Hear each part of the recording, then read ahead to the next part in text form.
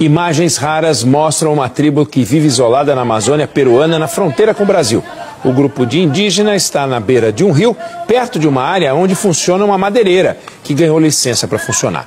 A ONG que divulgou o vídeo acredita que os indígenas estejam sendo afetados pela extração de madeira e estão tendo que ir cada vez mais longe em busca de alimentos.